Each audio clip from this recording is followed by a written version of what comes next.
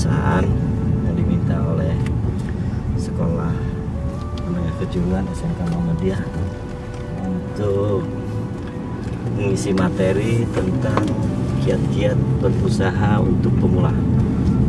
Dan sasarannya adalah siswa-siswa SMK Muhammadiyah.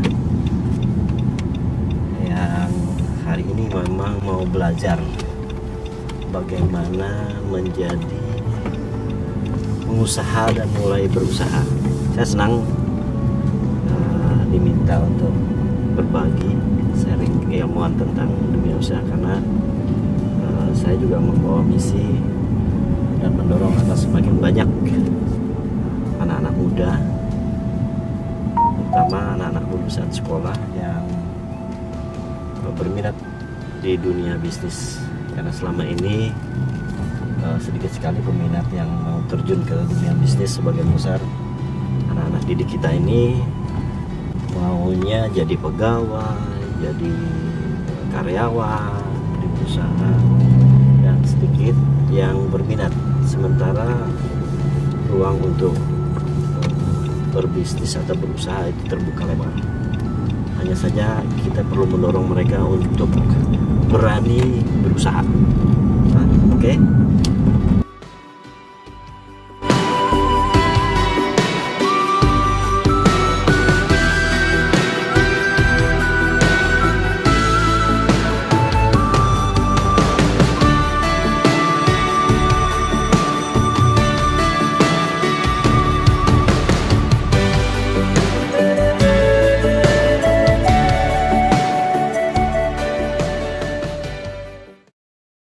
Warahmatullahi wabarakatuh. Ya, yang semangat begitu dong. Jangan lemes. Yang masih pagi, jam berapa nih? Masih jam 11. Udah makan atau belum? Belum ya? Kalau sarapan sudah? Belum juga? Wah ini suka main hoak mereka ini. Kelihatan wajah-wajah ininya. Ya. Tapi tetap semangat ya. Semangat. Nah, izinkan kami berdiri di sini ya. Saya juga uh, walaupun tadi Bapak kepala sekolah mengatakan bahwa kita harus menjaga apa protokol kesehatan ya. Cuma rasanya uh, karena jarak kita cukup jauh dan kemudian saya kurang bebas berekspresi ketika menggunakan masker. Saya izin lepas masker ya. Ya, karena kalau yang yang lain nggak boleh lepas masker karena jaraknya berdekatan, ya. Kalau saya sudah cukup jauh. Alasan, yang lain saya lepas masker biar, biar kelihatan lebih ganteng sedikit ya. Tepuk tangan buat kita semua.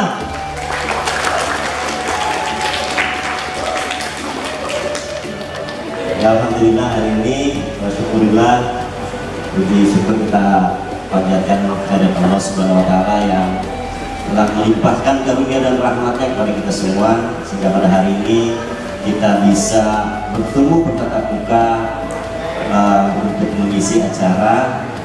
Apa ini acara judulnya tadi? Workshop kompetensi untuk kelas 12 tahun pelajaran 2020-2021 SMK Muhammadiyah Sampik ya.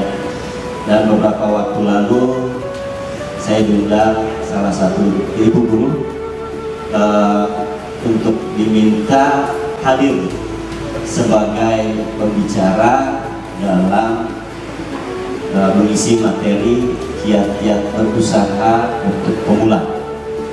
Sebetulnya saya sudah sering juga mengadakan acara-acara semacam ini, cuma sejak pandemi uh, COVID kurang lebih dua tahun uh, sempat terhenti gitu ya.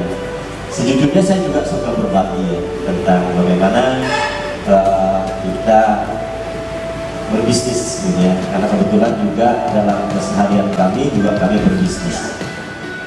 Ya? Percayalah orang yang memiliki impian mulai dari kecil atau mulai dari sekarang akan berbeda masa depannya dengan orang yang tidak memiliki impian. Ya. karena awal dari sebuah sukses itu adalah bermimpi. Kita harus berani bermimpi terlebih dahulu saya orang kampung saya lahir di Pagatan ada berasal dari katanya Pegatal? Ada ya? Nah, itu orang pegatal. Itu orang pegatal.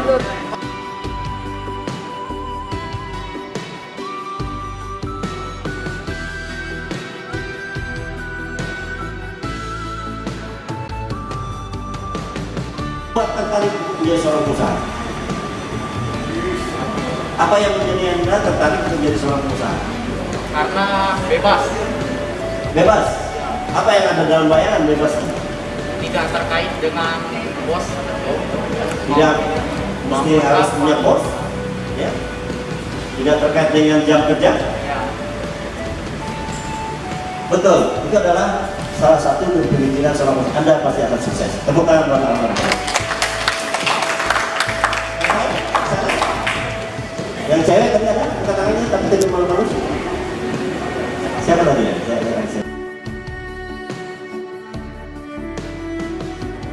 Nama saya Muhammad Rasid dari 12 TKJB. Pertanyaan saya, jika usaha kita atau bisnis kita mengalami kegagalan, apa yang harus kita lakukan untuk bangkit kembali, untuk memulai, memulai kembali kegagalan tersebut? Menarik dan sangat bagus sekali ya. Apa yang harus kita lakukan ketika usaha kita mengalami kegagalan atau bangkrut dari Muhammad Rasid ya? Mudah-mudahan ini tidak terjadi, tapi itu bisa terjadi. Pertama, yang harus kita lakukan adalah mengevaluasi penyebab-penyebab kegagalan. Itu saya memutuskan bahwa untuk ditutup. Dan kemudian saya hanya fokus ke brand saya, karena brand saya baru saya bangun juga dua tahun yang lalu. Ya. Nah demikian juga kalau misalnya kita punya usaha yang baru, usaha yang lain, kita bisa saja bahwa mungkin evaluasi mungkin tempatnya yang tidak pas, kita pindah lokasi atau mungkin produk yang kita jual tidak lagi eh, ada-ada yang bertanya saya ucapkan terima kasih kepada pembawa acara juga kepada SMK Muhammadiyah dan kita bertemu di lain waktu dan harapan saya semoga adik-adik bisa sukses semua menjadi orang yang sukses di Amin. Tepuk tangan buat kita semua.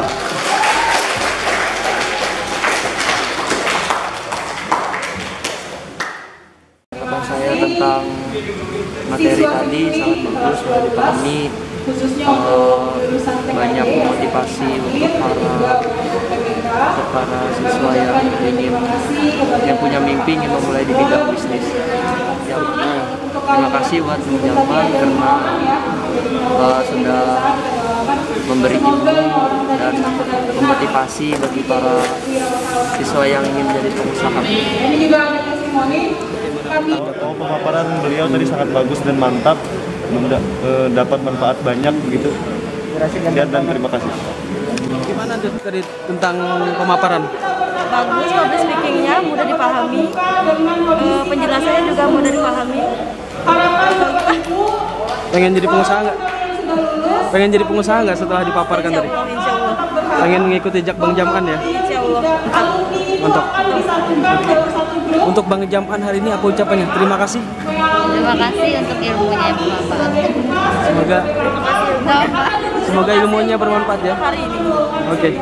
terima kasih banyak saya cukup bangga gitu banyak apa ya banyak banyak pengalaman bapak beliau itu em, motivasi buat saya gitu.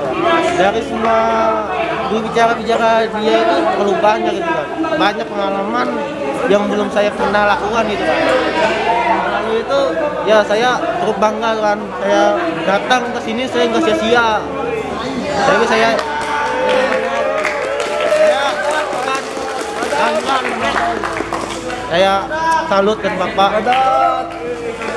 Bapak bapak jemaat terima kasih. Sukses selalu buat saya. Buat jemaat juga. Salam lemper. Alhamdulillahirrahmanirrahim Kami ucapkan terima kasih kepada Bapak Jam'an SEMM yang sudah memberikan inspirasi untuk siswa-siswi kami kelas 12 dan semoga apa yang disampaikan tadi kiat menjadi wirausaha muda mereka bisa terapkan dan mungkin uh, mereka bisa sukses. Terima kasih Bapak.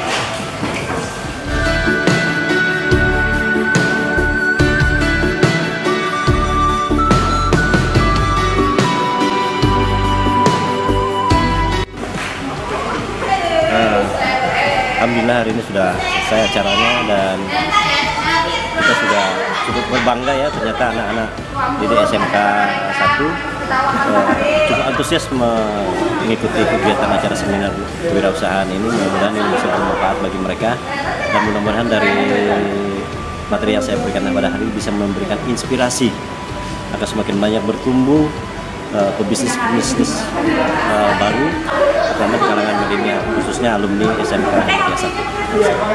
1.